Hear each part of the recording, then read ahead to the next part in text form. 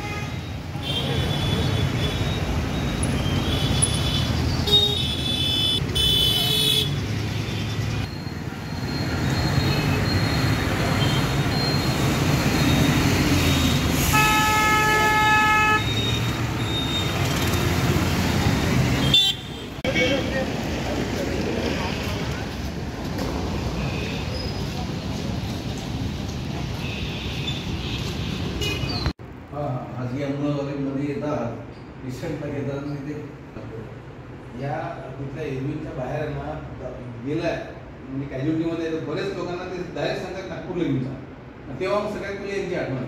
हेच जर तिथं असेल तर कोण घेऊन आता पाच सहा जणांना आम्ही फिरत राहायचं त्याच्यावर लक्ष हा. आज आमच्या ॲम्ब्युलन्स लावल्या तर तिथं पूर्ण ट्रॅफिक हो, आहे ज्या ठिकाणी ॲम्ब्युलन्स येते होते की नाही त्यांच्या? असं नाही तर पूर्ण बाकीचे प्रायव्हेट गाड्या लागले कोण नेहमी किती दहाच राहतात ना हा, दहाच लागले. तिकडनं. बाकीच्या तिकडनं पीएमच्या तिकडनं राहते. किती वर्ष होते वर्ष दोन हजार अकराचं ते रजिस्ट्रेशन आहे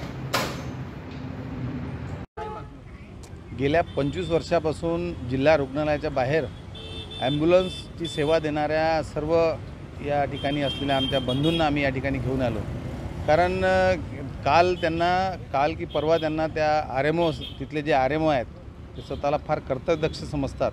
आतमधल्या अनेक त्रुटी त्यांच्यासमोर वेळोवेळी मांडूनही अजूनपर्यंत त्यांनी दुरुस्त केल्या नाही.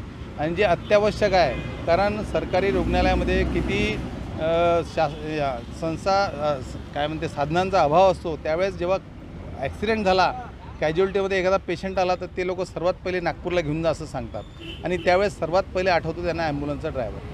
त्यामुळे त्या ॲम्ब्युलन्सवाल्यांना अत्यावश्यक सेवेसाठी मोजलं जातं आणि त्या ॲम्ब्युलन्सला त्या ॲम्ब्युलन्सच्या सर्व लोकांना त्या ठिकाणी हटण्यास सांगितलं या ठिकाणी थांबू नका तुम्ही बाहेर या ठिकाणी ॲम्ब्युलन्स लावू नका. हा त्यांच्यावरचा अन्याय आहे. जेव्हा कोरोना होता तेव्हा याच लोकांनी स्वतःच्या जीवाचा जीवाची पर्वा न करता त्या ठिकाणी प्रत्येक पेशंटसुद्धा आणला अनेक लोकांचे जीव वाचवले आणि काही ठिकाणी त्या बॉडीसुद्धा नेताना त्यांनी हातभार लावला स्वतःची जीवाची पर्वा न करता. त्यामुळे या लोकांनी इतके वर्षाची जी सेवा दिली त्या सेवेचा हा अपमान आहे असं आम्हाला वाटतं. म्हणून आम्ही पोलीस आयुक्त आणि कलेक्टर साहेबांना निवेदन दिलं आणि त्यांना त्यांची हक्का हक्काची जागा ज्या दोन हजार त्यांचं तेरापासून रजिस्ट्रेशन आहे त्यांना तेव्हापासून दहा ॲम्ब्युलन्स लावायची त्या ठिकाणी परवानगी दिलेली होती. ती परवानगी सहित आता त्यांनी बहाल करावी अशी आमची मागणी होती आणि पोलीस आयुक्त साहेबांनी तात्काळ ट्रॅफिक डिपार्टमेंटला फोन केला आणि त्यांना त्या ठिकाणी थांबण्यास परवानगी दिली.